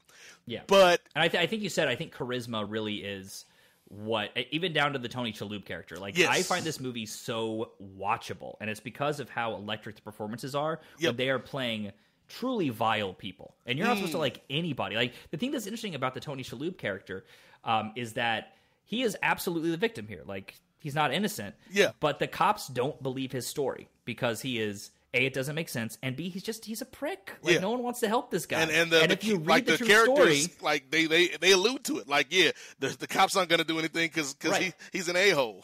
and that's not a screenwriting device. That was the true story. That's what happened. They, they, they, the, the, the Sun Gym, uh, the Sun Gym gang would have gotten away with it had they not tried to do it on a second person, and Hmm, yep. it had gone so wrong. They got away from it because this guy was such an asshole. No one wanted to help him. Yep, It and, and chose the perfect victim in that in that regard. it's like these, like all three of these guys, they kind they kind of feel to me, and I don't know if if you get any of this from your viewings of the film, Brian, but they kind of feel like little mini versions of uh, Denzel's Frank Lucas. Mm-hmm. Uh, f- uh, from uh, damn, what was the, what was the name of Training the movie? Day. Yeah, no, not Training Day. Uh, Oh, sorry, uh, uh, American Gangster. American Gangster, yeah. Like these are all little mini American gangsters. Mm-hmm. And like where Frank Lucas had the charm. Frank Lucas, you know, he's he's not a good human being, but you can see why these other people want to follow him. You can see why they all want to, you know, get involved in this scheme and get involved in these machinations. And so, yeah, like I, I think Mark Wahlberg is the perfect person, even though like he's still a little too Boston to be hanging out in Miami for my taste. But I think like Mark Wahlberg is the perfect kind of actor to to kind of build this movie around. Um, yeah, I, I think he's he's really. I don't know. I think he's just really fantastic uh, in in this movie. I think he's I think he's funny. I think he's very quotable. Um, he's perfectly cast. I mean, I think some of the supporting characters, some of the supporting uh, roles aren't. I think that's maybe where the film kind of falls apart a little bit. Um, I think they're a little obvious. Are, are, are, are you speaking on, on, on one person in particular who may or may not have his name in the title of this podcast, Brian Mann? No, no, I'm talking about Ken Jeong and uh, Ah. Rebel Wilson. I just think some of this. Oh. I think some of the support, and, and to an extent, Rob Corddry. I just think Yeah. casting such straight comedic actors Yeah, in those right, supporting right. roles, I think kind of dilutes them a Yeah. little bit too much. Whereas Tony Shalhoub is an actor who can play both sides very well and Yes. deliver these very full fledged things. Whereas, Yes. no offense to Rebel Wilson, um, but like her character never gets past like, oh, she's like, she's like plus size. Isn't that funny? Yeah, like, that's like- the whole character. Like I love Rebel Wilson, but like I don't need like I'm not here for you being in bed with Anthony Mackie and a pair of nunchucks. Like this this is not adding to my story. and again, that's that's Michael Bay directing at ten. And I so for me, even when the movie overshoots uh its its landing, so to say, when when the film uh, does pulls a Daniel Lugo and its reach exceeds its grasp, um, the movie is so fast paced that it doesn't stick around for very long. Um, I, I think the Goodfellas esque, you know, monologue, you know, uh, an internal monologue way of telling the story, I think works so well. I mean, what would you say? Like, at least eighty percent of this movie is narrated, um, Yeah. and I think that that works really well. And and and I think that um, you know, to Mar- to to Michael Bay's credit, I think that he um, he steers the ship admirably. Uh, and I like I was just I, I, I did you see any of his uh his movie Six Underground, the new Michael the new uh, Netflix movie he made? No. So it's not very good. And all the things that people like kind of run down Michael Bay for are there. But I got to be honest. I kind of again, you don't know you have till it's gone. I miss the days when we had a major filmmaker making blockbuster movies that we could all complain about. Now mm. every blockbuster movie looks the same, they're dumb, they they all feel the same, there's nothing special about them. I would love to have the misanthropic Michael Bay back. Like Bring back the the wrong headed Michael Bay who like in Transformers has Harriet Tubman helping fucking Optimus Prime. Mm. Bring someone bring that brain back to, to, to studios. Well, we, well, we've got that we've day. got jive talking cop cars. Yeah. Bring that back. Like just something weird that we could all get angry about. But like it at least has like a point of view. You don't get that anymore. Like we got the guy fucking Dwayne Johnson's making uh billion dollar movies with the director of Dodgeball. Come on. but uh, let's I, I don't know uh again, I don't know where you're at on your list. I but, mean, uh, you, you you brought up the man's name, so I think we should Yeah. go there next. Uh, Dwayne the Rock Johnson uh, playing Paul Doyle, uh, and I guess like I read somewhere that Rock originally wanted to back out of the role. Um, hey, listen, in, in, in the guy's long role, uh, you know, in, in, his long line of avoiding interesting roles, it doesn't surprise me. Um, but um, Yeah, because uh, what, I'm, what I'm reading here is uh, he he almost backed out of the role, uh, not because he didn't find the character interesting, but because it was so removed from where his comfort zone was.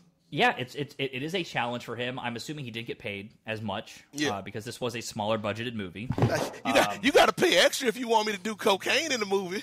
God, and when his downfall is so incredible. Um, actually, that's what most of my notes about the movie are is, is on his performance. But do you want uh, do you want to start with my hot take uh, about this role, or do you want me to Uh-oh. do you want to build up to it? Ooh, let, let, let's let's keep let's let's uh, build it up. Let, let's keep the listeners in suspense here.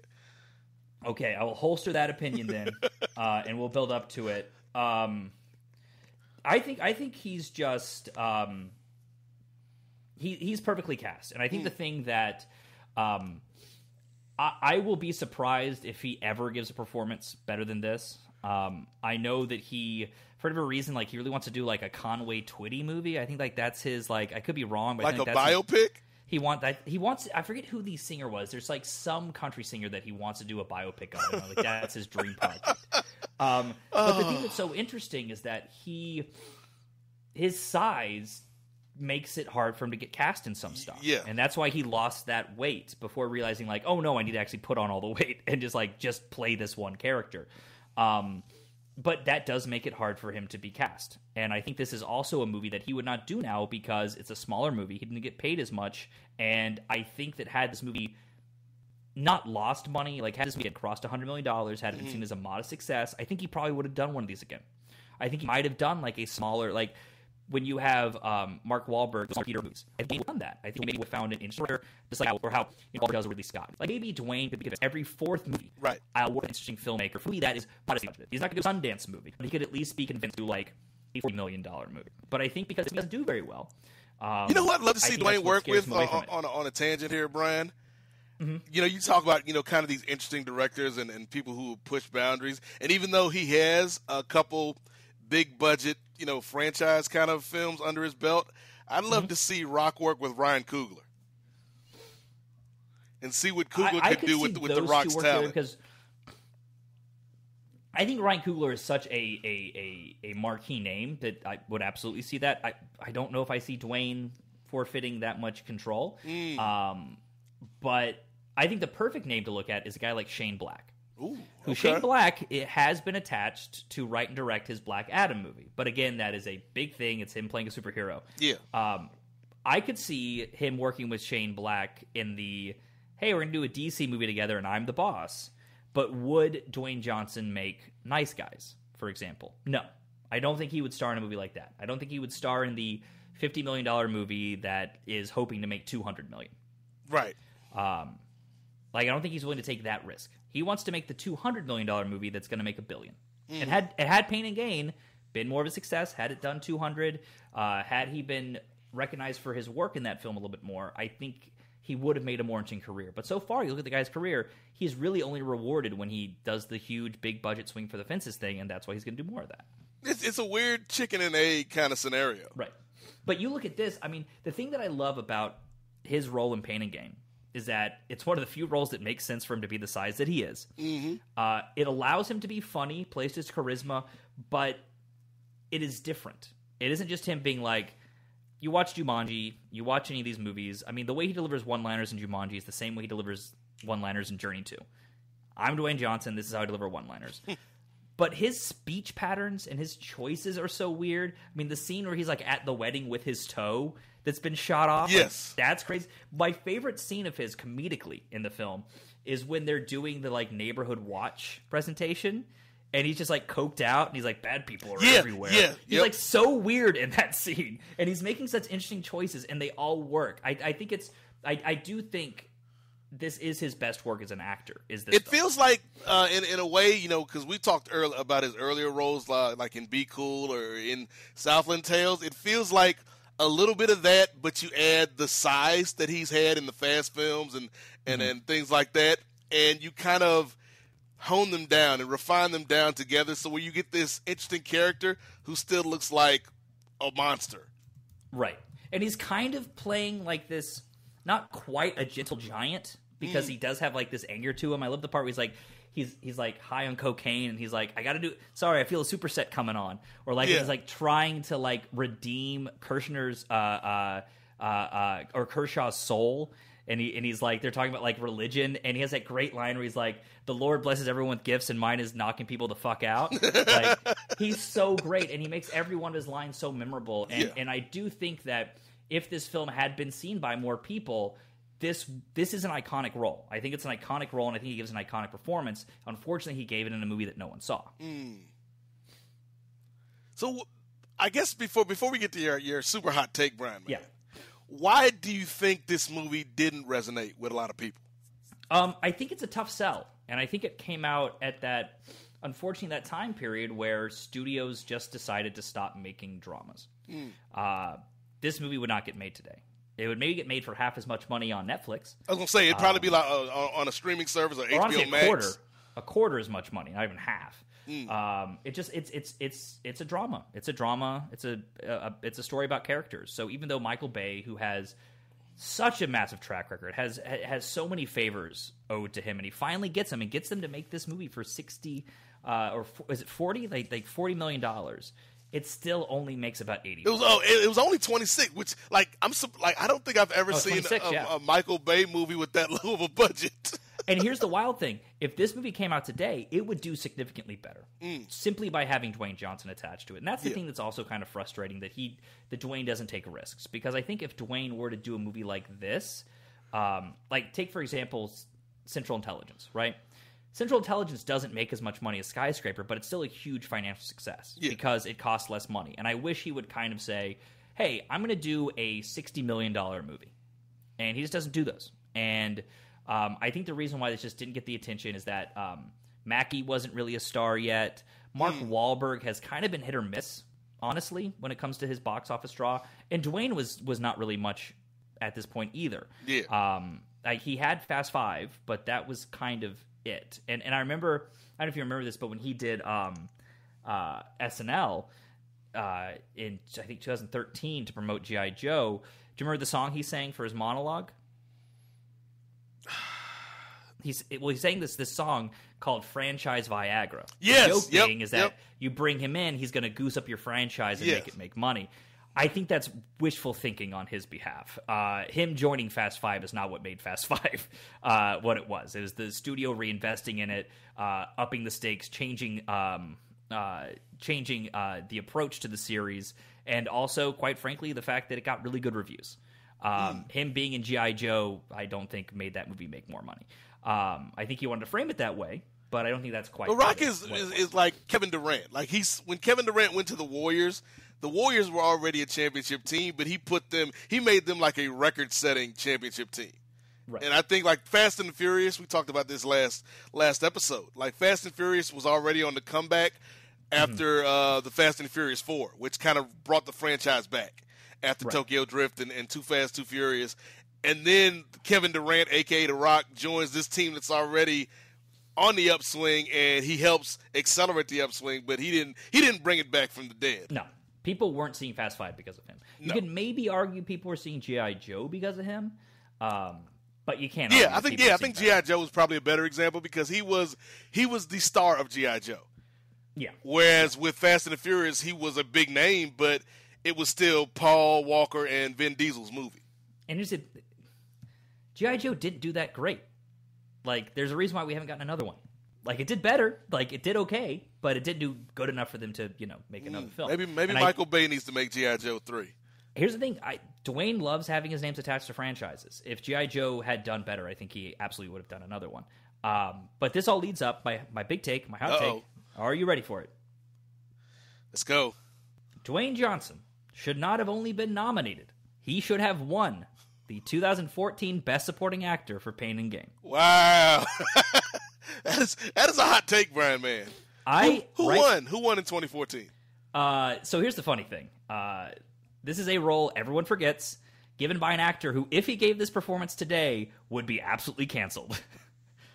Jared Leto for Dallas Buyers Club, Oh wow, playing a, a, a, a trans character who, if he tried to give that performance today, I don't think he would be allowed.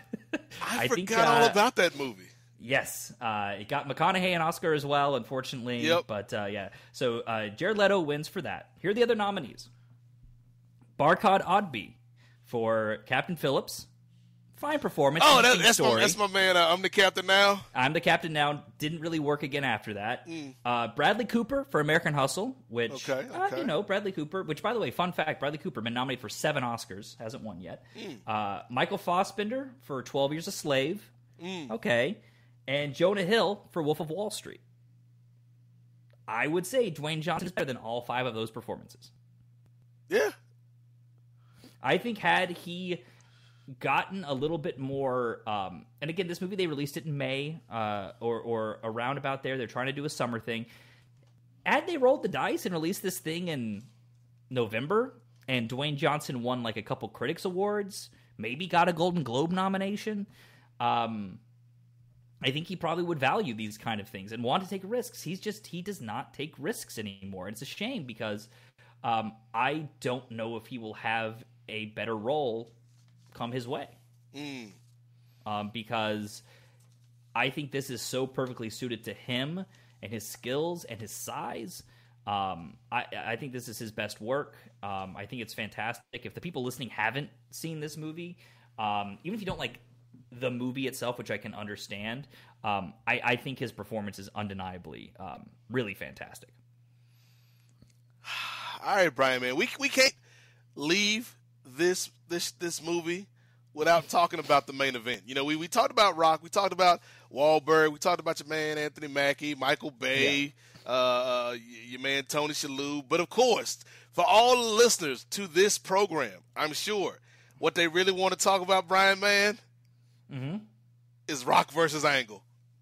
Yes, I did have that as one of my notes. This was the No Mercy 2001 uh, rematch that we've all been waiting for. Oh, yes, Kurt Angle does have a small role um, because at this because they did shoot this film in Florida.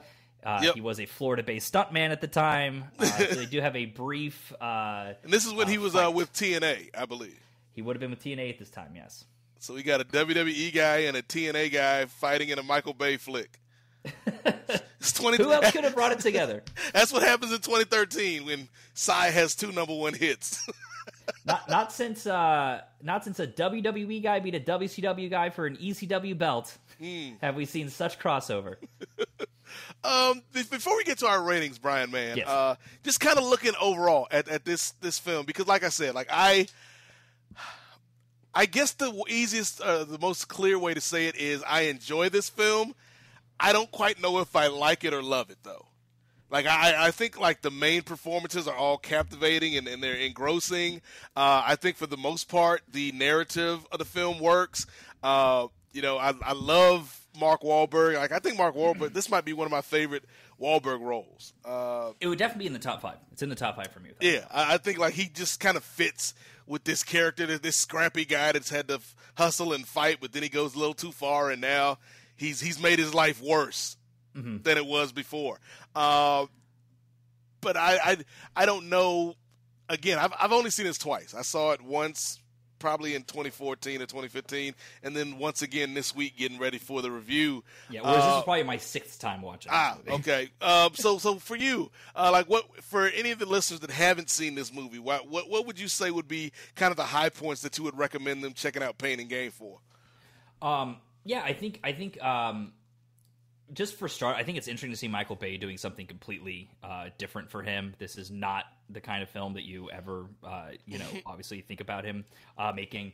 Um, I think that the performances across the board are all really great. I, I, you know, by and large, I love, I love, I, I, I think also just seeing the way that Mike Bay shoots a movie that's small and about, you know, I, I think just like I guess it's like there's still like you can complain about you know how it's not doing what you want it to do, how you know makes mistakes, and and for me, I, I think it's like view it on terms, and yeah, like can you close your eyes and imagine what a more traditional would have done with this? Yeah, maybe it would have made a better movie. Um, but Mike Bay's weird way of shooting a movie like this, like think about like the scene where they uh, abduct uh, Kershaw, and it's like. Anthony Mackie is like confronting him, and like the camera's spinning around them for no reason, and then like they they they shock the side of his head with the with the with the uh, um with the with the taser, and like it's a slow motion shot. And there's like this huge like saliva bubble that comes out of Tony Shalhoub's mouth, and it's like yeah, that's Michael Bay doing it to ten. You know, I, I don't think any other director would have done that. So just like the weird personality that this movie has, um, I think is so great. Um, yeah, it's just like there really is no movie there's there's no movie like it. There's movies that are similar to it. Uh, again, I think you can look at the script and say, "Oh, I can see how the Coen Brothers would have made this movie." Uh, I mean, Burn After Reading is probably pretty similar to what the Coen Brothers version of this movie would have been. Um, but I I just think that it's so weird and honestly, a movie that's about like these, you know, in over their head, you know. Uh, Gym Rat guys, like I kind of want Michael Bay telling that story. I want the Gym Rat director to be the one uh, directing it. You know, it, it's it's. Uh, I guess it, it- this would be the best to uh, uh, to our to the viewers of a of a uh, the listeners to a show like this. The movie feels like uh, Vince McMahon watched Fargo and then told you about it. That's what this movie is. That's that's that's God damn! Then there's this cop and he figures it all out. That's actually a brilliant comparison because, like, yeah, the, when I was watching this, I think I felt like, yeah, like this.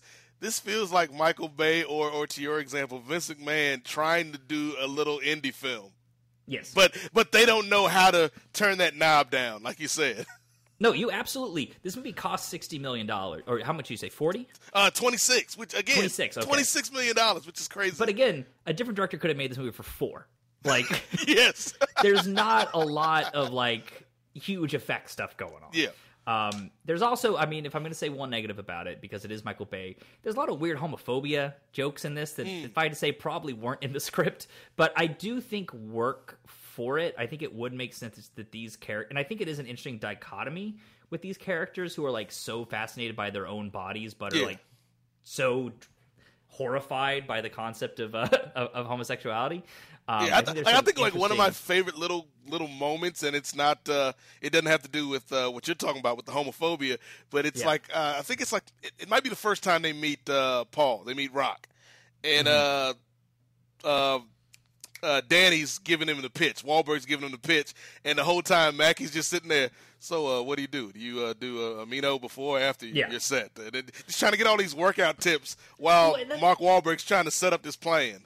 there is something kind of like so lovable about the way these guys are all in over their head. I mean, you have this Anthony Mackie who like he just wants to be buff. He like there's that great scene where him and Dwayne are like in the strip club and he's like talking about drinking breast milk. And, and it's like and, and Dwayne is just like, why would I be doing that? and it's Yeah. just like, trust me, no, I get it from this girl. She's totally clean. You should be doing it. and then you have Dwayne who's like trying so hard to be like this born again Christian. Um, and you have Mark who is uh um I, I think the big thing about this is like it's such a well written screenplay, and I think it really does show the skill of these guys. And we've obviously seen what they've been able to go on and do with characters in Marvel, but I think I, I think that he just writes all they just write all these characters so well and i think they're so beautifully played these these you know three lead characters. Um and and the fact that to anthony i mean to, to michael bay's credit he gets three really great actors to play those roles. I mean there could be a different world where you kind of drop the ball on one of these three roles. Um, and maybe you don't maybe you cast someone who can't quite carry the load but i think this film works so much because of those three leads uh, their chemistry and, and and the charisma and what they bring to it. I mean an actor less talented than anthony mackie like just like oh yeah this guy who's uh, you know like taking too many steroids and his dick doesn't work anymore but he makes him a real character Yeah. um, it's a real testament to all three of these guys uh, how much you like uh, um, you like their characters Yeah, I would say like that. That for me is yeah. These are not good people, but the actors that they chose make you want to make you want to root for them, even though you know they're like despicable individuals. Um, yeah, I, I had a lot of fun with this movie, like that I didn't think I would. Because again, I watched it back in 2014 and never never thought to watch it again. And maybe maybe I don't know, like maybe it was the advertising that didn't fit with what the movie actually was. Like for whatever reason, I felt like what I went to go see in the in the uh, not on the, in the theater, but what I bought on DVD wasn't what they sold me. Yeah, yeah. I, I don't think they, they sold this as a comedy Mm. as much as they probably should have.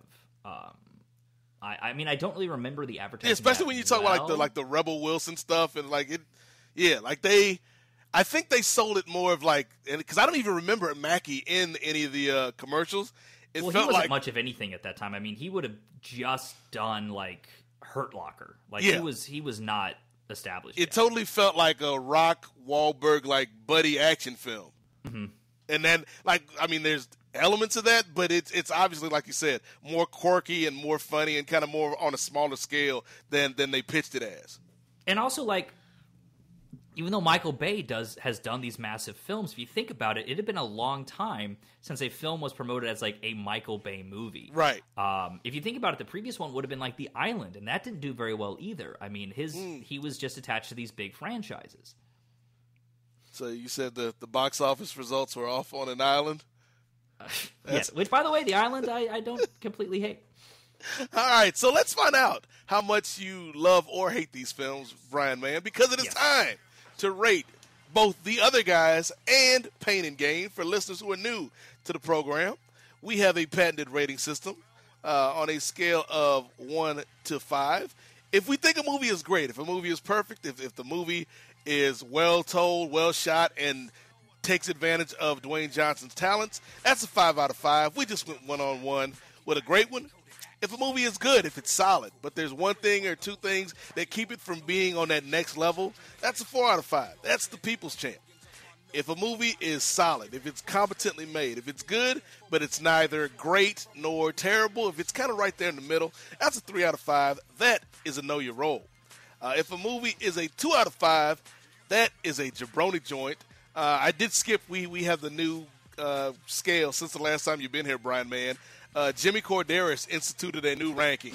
Uh, if if the movie is is better than bad but less than good, that's a two That's a shut your mouth and know your role. So that's Jimmy Korderas' addition to the proceedings here. Do I, here's the thing, Nate. Have you been listening to me for the last hour and a half? I don't even see why you're explaining any of the ratings below a four. I mean, I, I just just in case, just in case. uh, and no, and if a movie is terrible, if a movie is the worst thing you've ever seen, Brian, man, if a movie does a disservice to cinema and to Dwayne the Rock Johnson. If a movie is doomed, that's a one out of five. That is a rock bottom. So, Brian, man, let's start off with So is The- Doom still the rock bottom for you? Is that his absolute yeah. To worst? me, Doom okay. is still the worst because Okay. it's a bad movie that doesn't know how to use the rock. Okay. And I think like that's the like if, if like we've seen plenty of decent movies that The Rock is bad in, and we've also seen plenty of bad movies where The Rock, you know, his charm kind of lifts up the thing.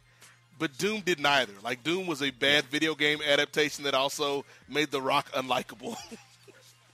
Now, here's my question. Uh, talking about these movies, are we refresh my memory? Are we rating the overall quality of the film, or are we rating the quality of Dwayne in the? Both. Like we, we we're also we're rating the overall quality, but if you want to give an addendum, a side note on DJ's performance, you, you can do that as well. So uh, with the other guys from 2010, Brian Mann, what would you give that film? He he is he's given a five. He's a five. He is without a doubt.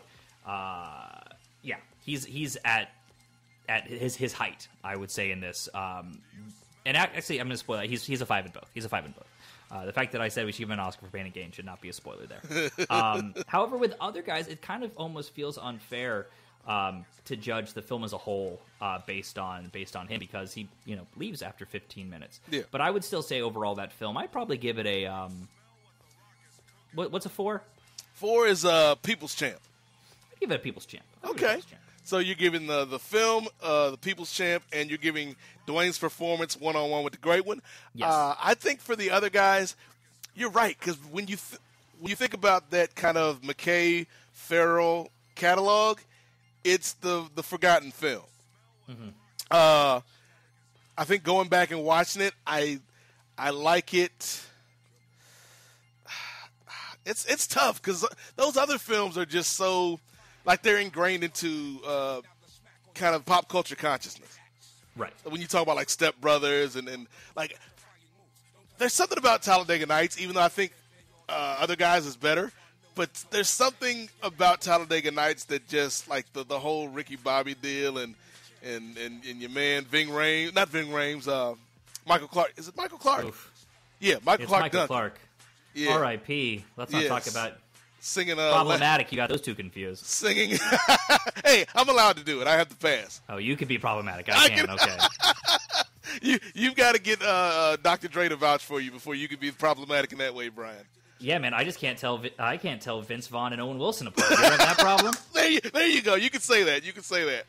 Uh, but yeah, I think in terms of Rock's performance, I think him and Samuel Jackson are are really good together. Like I would love if like I think if that movie were made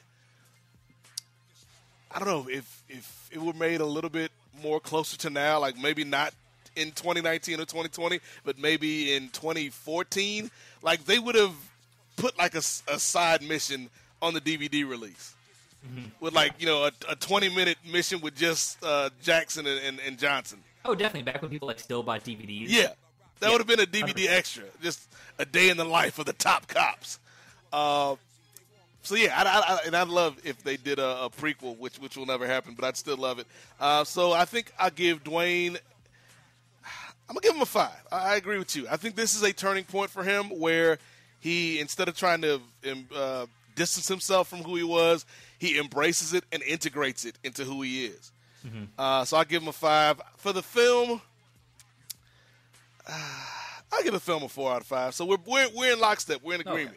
People's champ for the film, great one for Rock. Now, Brian, here's here's where I think uh, our our two ways may may, may part here. Uh, Pain and Gain, 2013. What do you give the film? What do you give Rock's performance? I, I, I defend this movie. I really do. And by defend, I mean I don't just like say that. I, I defend it. People come for this thing, and I, I defend it. Um, I, I, I don't know. I got. I, I honestly, I'm going to say great one. I'm going to say great one for Wow. the film as well because I, I think it is just a unique thing. Um, are there things that could be better? Are there things I wish weren't in there? Absolutely, but um, I'd rather have a, a flawed version of this film than not have it at all. Um, I think it gets more right than wrong, um, and I am entertained throughout the entire thing. I mean, this isn't like I'm never checking. This isn't where, um, you know, I think it sets out to, um, and it's unapologetically what it is.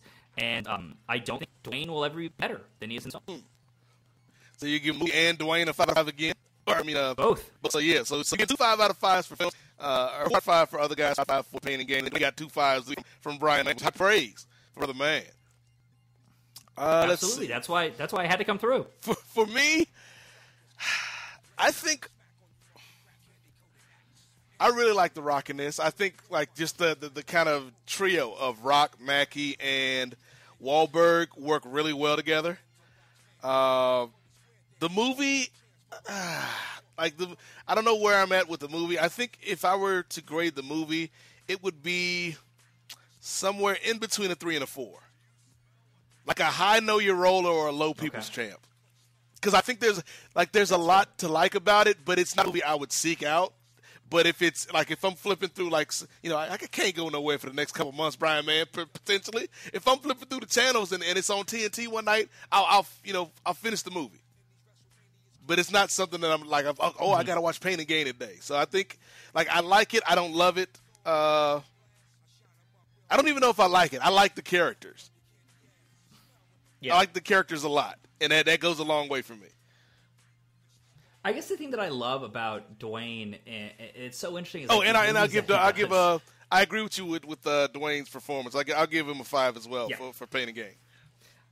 I just feel that what's so interesting with Dwayne is that you compare this, and, and to me, I, I would connect this to Southland Tales a little bit, Mm. uh, where it's like he accidentally makes these like grand critiques about American capitalism, and, and, and and I do think accidentally because I mean, you look at any of the other movies, there's never any political statements in any way, like not even like the most like uh, you know uh, the most like very like PC corporate like woke. There's never even that. Like there is Yeah. nothing. There is no ideology in any of his movies in any way because he he makes his movies for a global audience. Like he doesn't. He's not trying. He has zero agenda. The only agenda he has is man, Dwayne Johnson, cool guy. Yeah, and then I think that's that that's part of his success. Like everybody, Mm-hmm. everybody loves The Rock. But here's a question that uh, Joey Lewandowski and Joe Two from the Too Fast Too Forever uh, podcast that that that we did. Uh, Mm-hmm. uh, they came on for the Fast Five episode. Okay. And one of the last questions they asked me is kind of the rock aficionado was, what would I state as kind of rock's defining role? Like when it's all said and done, like and not and not in terms of performance, but in terms of what will Dwayne like what will be the header on Dwayne Yeah. Johnson's obituary besides wrestling Hall of Famer? What will the role he be known he, he'll be known the most for? And at first I was thinking like, huh, like would it be would it be some of the family stuff? Would it be uh, Maui from Moana? And then it's like it's it's kind of got to be Hobbs, doesn't it? At this point, Yeah, yeah. I mean, it's. um I think Moana. You could certainly make an argument for. Um, I think of all of his movies, I think that as of now, I think that's probably gonna be the one that will stand the test of time the longest because it is a Disney movie because it has you know that the, the you know it, it gets children young. Um, but yeah, no, I think if he uh, um, you know um, unfortunately came in contact with uh, his uh, his Hobbs and Shaw co-star Idris Elba, and uh, um, but no, I think that um, yeah, if if if Dwayne's filmography ended uh, abruptly, um, I think you would have to say that Hobbs um, is is is his most uh, iconic role. Um, if for no other reason than the fact that it is his only movie character you can name. Uh, I don't think anyone can tell you the name of his role, his character in Skyscraper. No. Um, it, it, it is the one kind of like iconic character that he has played. Yeah. Um, though I- interestingly, that's like I don't I won't even necessarily call it a character. Like it's no different than any of his other roles. It isn't like um, even with Schwarzenegger, you'd be like, yeah, you know, Terminator is different than True Lies. Yeah. You know, uh, like there's no other. He doesn't do Terminator again. I think you know. I, I do Shaw like that. Uh, I do like that they've they've kind of made him more like he's not so, such a stereotype. Like if you look at Fast Five, even though I love that film, like Yeah, he's he- he's he's just a muscle bound police guy, military guy. A, yeah, with him in, in Fast Five, uh, you could see that role being played by many other people. Yep. Uh, you you could see the dice being rolled a little differently, and like, oh, we brought in Channing Tatum to play it. You Mm-hmm. could see that. But later, uh, no, you you completely. Um, even though the way that he has the way his his character is handled in Hobbs and Shaw is very weird, uh, and and I think they make some missteps with the character uh, in, in, in that film, uh, like the fact that his daughter is not aged in seven years. hey, that's uh, that's that's some good genes. Well, it's weird that like not only that, but then like he also is like has a love interest in Hobbs' sister, and Yeah, it's like out of no, nowhere. We do not want to see Dwayne Johnson be a romantic interest. The man is too big. No one wants to see this. It's weird. And he certainly should be a romantic interest with someone who's 20 years younger than him. That movie would be so much better if it was him dealing with his teenage daughter dating than him trying to date. Mm. And then the other, the other thing is, uh, like you bring in your man Roman Reigns trying to jumpstart his career. Yeah. Like, hmm, I don't, I don't, I don't know, I don't know about this one, DJ. I gotta be honest. When when when I saw that he was in that movie, I didn't. I wasn't completely sold that he'd be coming back because that was when he was obviously out with leukemia. and it Yes, was like, yeah, you're right. Yep. He could just say, "Fuck it, I'm doing movies now," which honestly he maybe should. So that is that is going to do it, Brian. Man, like I, we we solved the case. We we hit the double feature on the people, and I think uh, you know we can all uh, kind of get through this together. I'm, I'm glad that you were here this week, brother. Thanks for having me. Uh, you know, obviously, people listen to the show; they're fans of, of Dwayne. It is possible, though, that uh, these could be the two films they haven't seen. I feel like these are really overlooked in his uh, in his in his film in his filmography, which is crazy because I think that they are uh, an extremely important role in Other Guys and uh, his best role in Pain and Gain. So uh, before we let you go, Brian, any any, any uh, thing you want to promote for the people? Anything you want to you want to plug out there? Because I know they're they're going to need that, that that good entertainment content uh, over the next couple weeks, and, and who better to deliver it to them than the wheelman himself, Brian Mann? Yeah, uh, you might have a little bit of free time these days, and if so, uh, I actually just uh, made a series for Complex. Uh, I completely executive produced and uh, show ran this show, so my fingerprints all over it. It's called uh, Jabrizi's Magic in the City. Uh, it follows a uh, street magician by the name of Jabrizi. Uh, you might have seen him on TikTok and Instagram and all that stuff, but he's a uh, he's a magician from uh, from Chicago, and it's an eight episode series on Facebook Watch where we follow his journey um, as he attempts to make it big in the world of magic. Um, so, like I said, this is the the first show that I've kind of executive produced that I've ran. Um, it'd be great if people could check it out. Let me know what you think of it. Uh, our finale actually drops next week. Um, it's eight episodes. Uh, it's Facebook Watch, so each episodes are about ten minutes long. So uh, so check that out. We uh, have him doing some fun tricks. We have other people reacting to weird shit. So uh, I'm proud of the show, um, and everyone should check it out. You said Jabrizi's Magic in the City. Jabrizi's Magic in the City. Okay, I'll, I'll definitely have to check that out. That you, you've got my attention, Brian Mann. Mhm. We'll, we'll see. We'll see. I'll, I'll have to do a special side episode on on the oeuvre of Brian Mann. now. I appreciate it. a I modern appreciate day Peter Berg, if you will. Oh wow, no, we used a tripod a couple times. What do you? It's not. It's not uh, handheld all, all throughout this. Not all the time. A fair amount, but not not constantly. Oh, good, good stuff, brother. I'm glad, glad uh, you you keep busy putting out the content for the people in, in these strenuous times. Uh, so yeah, definitely check him out, and you can also check uh, Brian out on Twitter at Brian Maxman. Uh, Yep. As for me, you can check out the Kings of Sport, Kings of Sport Patreon, patreon.com backslash the Kings of Sport, where this week, the week that this uh, episode comes out, we'll probably be launching a new bonus show uh, because uh, Brian Mann, uh, I, I'm sure you can relate to this. Uh, we we, ha- we have friends that that do podcasts, and this is a time where a lot of people are stuck indoors, and so um, my my new uh, idea that I'm coming up with is going to be each week. It's going to be like a book club, except we're not reading books. It's more like a crisis club, if you will, where me, a couple other podcast friends that I know, and my buddy Steve Willie, who is a not only a uh, podcaster, but he's also a therapist.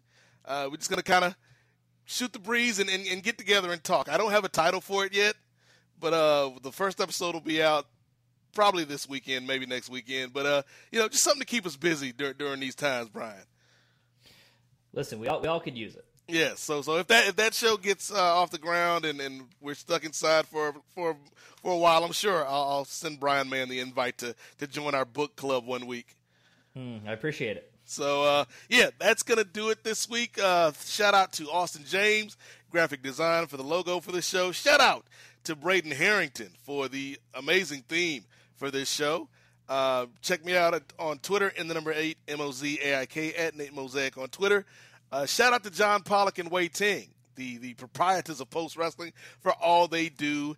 Uh, and and yeah, that's gonna do it. So uh, again, thanks to my guest Brian Mann. Hopefully next time we talk, brother, we'll actually be able to get back on the satellite. Uh, yeah, hopefully. I, I mean, I now, you know, really looking at the full situation, it's weird that we should we should have just stayed on the satellite. We actually were kind of safe. That is, uh, yeah, that doesn't make any but, sense. like um, we, why did we come into the danger zone? We were safe above the above the earth. I mean, we we ran out of toilet paper. Uh, we had to come back down for some more. Brian turned into Vince Russo. Listen, bro, if we go down to Earth, we'll be closer, but we'll be safer. Like, doesn't make any sense, Brian, but you are the wheel man. uh, but yeah, that's going to do it. So, uh, again, thanks for listening, everybody. Be safe. Uh, we appreciate you checking out the Rocky Maivia Picture Show. So, for Brian Mann, for Dwayne The Rock Johnson, I am the Godfather Nate Milton. We'll see you next time where we'll get to two, 2012's Journey to the Mysterious Island. I'm, I'm serious this time, for real, no cap. Uh, we, we will review Journey 2. Uh, but yeah, until then, remember, Nubian eyes are watching. See you next time, folks. Oh, I forgot about Nubian Eyes are watching.